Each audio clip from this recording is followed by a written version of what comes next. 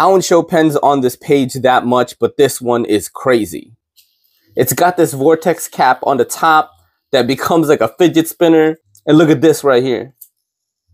Bolt action on the pen. Check out the detail on that as well. That is a Seigaiha pattern engraved titanium TiBolt from Fellhoelter. Still spinning, yo. Now this is 220 bucks, but it is absolutely sold out right now in Urban EDC.